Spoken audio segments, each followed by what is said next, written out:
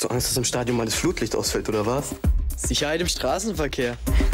Anderen Verkehr hast du ja auch nicht.